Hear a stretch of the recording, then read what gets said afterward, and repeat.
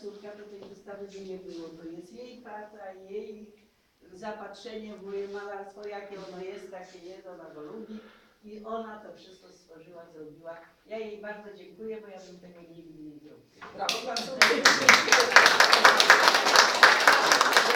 Bardzo Państwa proszę o wpisywanie się do księgi, którą tutaj wyłożyliśmy